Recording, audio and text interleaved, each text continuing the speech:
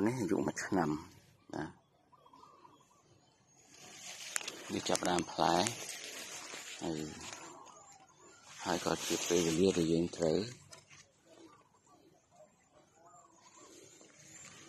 តែងមេឃដែរបាទតែក្តឹបឡំបាទអញ្ចឹងតើយើងគួរធ្វើម៉េចដល់គោលការណ៍យើងគឺមួយស្មែងទុកតែមួយផ្លែទេ ឥឡូវទីមួយយើងមើលផ្លែនេះផ្លែនេះគឺវាវែងល្អស្មើស្ដង់វាពណ៌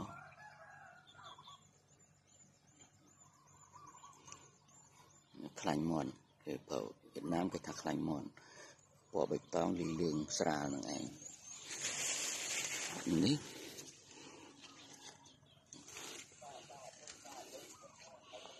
បើនិយាយពីសណ្ដង់ធំជាងនោះមិញប៉ុន្តែស្លឹកវារៀងវាចដើរអប់ផ្លែវារៀងមិនសូវ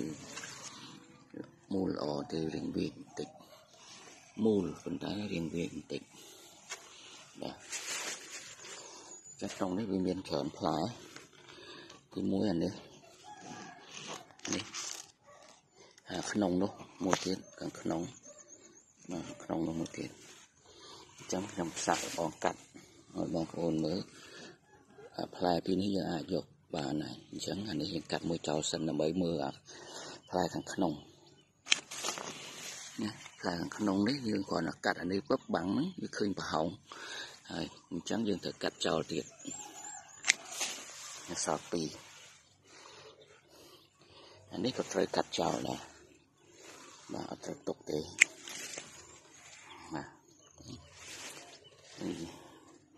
មួយនេះក៏ត្រូវកាត់ចោលដែរព្រោះគោលការណ៍យើងលើកទី1នេះយើងយកតែមួយផ្លែទេអញ្ចឹងត្រូវកាត់ចោលទាំងអស់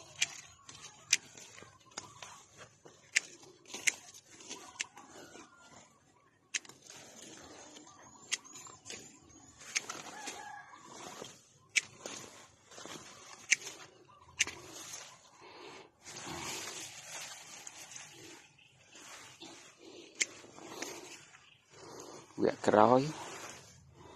យើងអាចទុកពីរផ្លែបាទវគ្គនេះយើងទុកតែមួយផ្លែទេអញ្ចឹងយើងមើលពីនឹងតើគួរទុកមួយណាអានេះក៏វែងដែរអានេះក៏វែងល្អដែរតែបើកម្រិតមូលអាខាងនេះមូលល្អជាងខាងនេះរៀងវាចកន្លែងនេះបាទអញ្ចឹងបើយើងសម្រេចចិត្តទៅទុកមួយផ្លែ តើទុកផ្លែណាគឺអានេះវាបន្តិចតែតងវាធំជាងតងវាធំឆ្លៀងមានន័យថាវាមានលទ្ធភាពចិញ្ចឹមផ្លែល្អជាងប៉ុន្តែតោះមួយមុខគឺវាវាចនឹងឯងបាទវាវាចវាចនេះវាមិនវាចធំដុំទេនេះជាការលំបាកក្នុងការសម្រេចចិត្តថាទុកមួយណាបាទ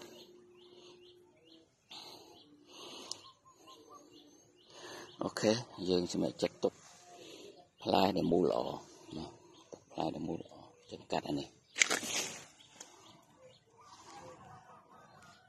ខ្ញុំត្រូវយកនេះមកចងស្បៃមកចងបាទអរគុណ